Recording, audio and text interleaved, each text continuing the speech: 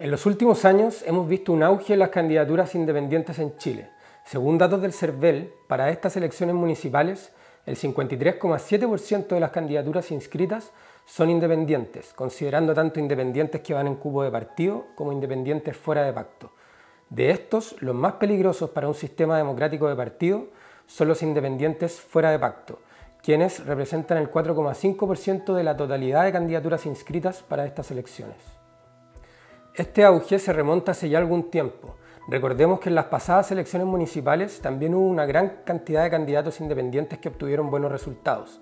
Nuestro Parlamento hoy está compuesto por una cantidad no menor de diputados independientes, muchos de ellos vueltos independientes convenientemente después de haber sido electos. Y sin ir más lejos, durante el fracasado proceso constituyente se enarboló con mucha fuerza la bandera de que las convenciones estuvieran compuestas por la mayor cantidad de independientes posible, arguyendo que esto otorgaría mayor legitimidad a la instancia que definiría nuestra Carta Fundamental. La desafección de los partidos puede tener que ver con la pérdida de confianza que han experimentado las instituciones en términos generales. Sin embargo, también hay razones específicas para el caso de los partidos. La falta de renovación en sus liderazgos, la consolidación de una clase política que se repetía los cargos de manera permanente y que fue absorbida por las prácticas de oficio, la desconexión con los problemas reales de la ciudadanía, la falta de sentido y de relato en pos de la vanuglarización excesiva de la tecnocracia, que hoy sabemos que también es importante, y por último, los tan perjudiciales hechos de corrupción. Todo esto lamentablemente gatilló el desprestigio de los partidos, consagrando la idea de que ser independiente es una suerte de prueba de, prueba de blancura y que además permite orientar la política al servicio de las personas y no al revés. Todas estas, evidentemente, son frases hechas y falsas que no resisten análisis intelectual serio. Comenzaré con la independencia. La actividad política, por definición, administra el diálogo entre distintas posiciones sociales de cara a lo público. Dichas posiciones sociales, por supuesto que no poseen siempre eh, posiciones completamente antagónicas, como sugieren algunas doctrinas que pretenden algizar el conflicto social en todo momento. Sin embargo, estas existen y están influidas por distintas dimensiones, culturales, históricas, del plano de las ideas, materiales, entre otras. Además, el político también es un sujeto social y por lo tanto no, está ajeno a la no es un actor imparcial que esté ajeno a la realidad, está inmerso en la sociedad está afecto a actividades determinadas, tiene intereses construidos como cualquier persona, tiene aliados naturales y personas que lo respaldan, que le permiten estar donde está y, eh, por último, eh, defiende un cuerpo de ideas o un proyecto una visión de sociedad determinada, la cual nunca podrá sintetizar e interpretar la totalidad de la problemática social. Desde este punto de vista, los partidos juegan un rol fundamental, no solo porque permiten la consecución de acuerdos que otorga estabilidad a la democracia, sino porque además permiten a las personas conocer las posturas y visiones que promueven las autoridades con franqueza. En relación con la corrupción, esta tiene que ver con la debilidad propia de la condición humana.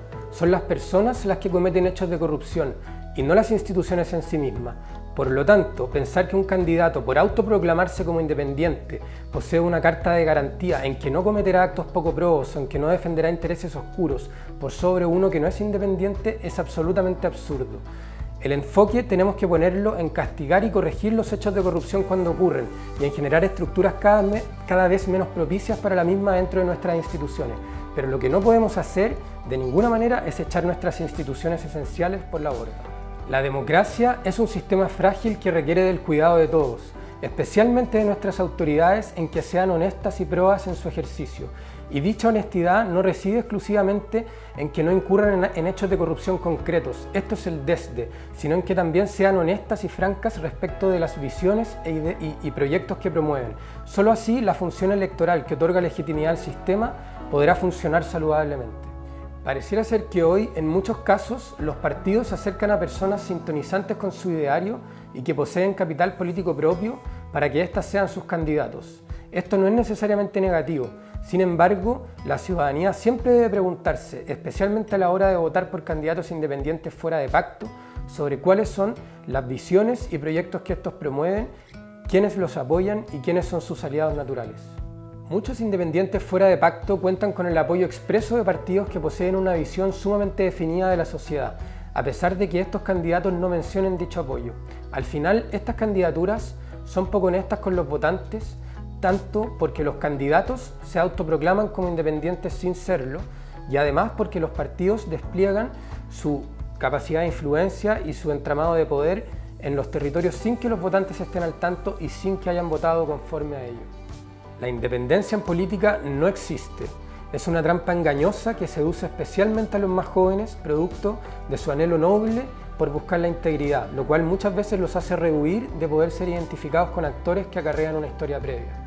Quien actúa concretamente en política siempre tendrá una posición, y si pudiera diluir su posición al punto tal de no tener consistencia alguna, entonces estaríamos frente a una situación mucho más peligrosa, la de la emergencia de un caudillo exclusivamente servil al poder, es decir, estaríamos frente a un grupo de amigos que gobierna en función de lo que es más popular o de lo que ellos estiman más popular en cada momento, porque el fin último sería mantener el poder para que les sea útil a ellos y a sus más cercanos.